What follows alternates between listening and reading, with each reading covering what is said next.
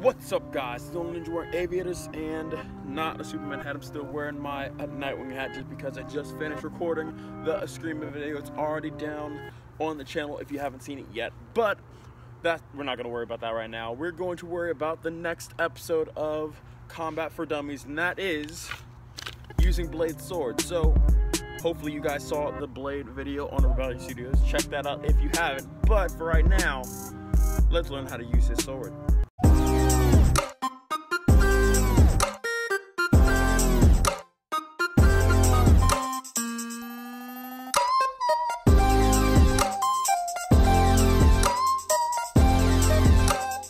So guys, today we're gonna go over two separate moves with this sword. Now, our first move is going to be a block. Blocking, again, your head, the most important part of your body. I probably said that a bunch of times by now on these videos. So, take our sword in two hands and we're going to take your blade and go up and at an angle blocking one of the sides that you're being attacked on. The reason it's at an angle is that your pressure doesn't come through your sword and possibly break it.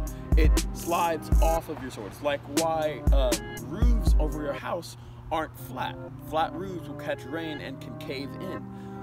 A slanted roof will allow rain to dribble, to trickle off the side of the house. And so when you use your sword, block like that so your attacks can slide off the side of your sword. Bang, just like that.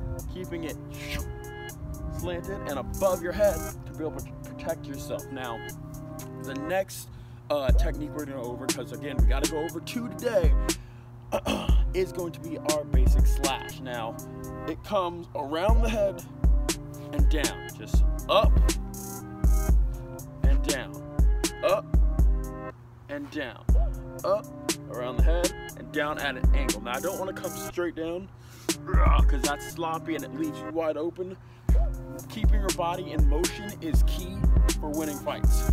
Being able to move is is gonna allow you to be able to win fights. Being able to stay mobile is gonna allow you to win fights. And so when you're doing the strike, don't stay still and just you know charge at your target. That's a good way to get stabbed in the chest.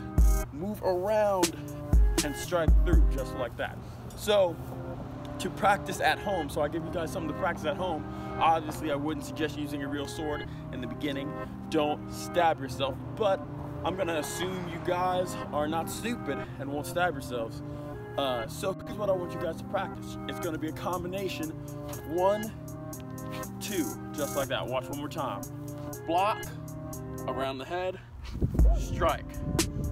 Block going away from your attack, coming away, and then going through your target, just like that. All together, one, two. One more time, one, two. And you can obviously do this on both sides. One, two, one, two. Now, a couple things to keep in mind. Whenever you're blocking with your sword, let me change this camera angle a little bit. There we go. Whenever you're blocking with your sword, you want to keep the blade not, the blade is not where you're gonna wanna block with it. You're gonna wanna block with the side of the sword.